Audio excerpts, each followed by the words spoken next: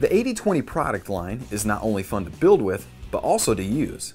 All of our parts and pieces can be built, adjusted, and taken apart with simple hand tools. Whether you're new to the product or you've been using it for years, 8020 University is a great resource. We've put together a wide selection of videos to help our customers better understand and explore our vast product offering.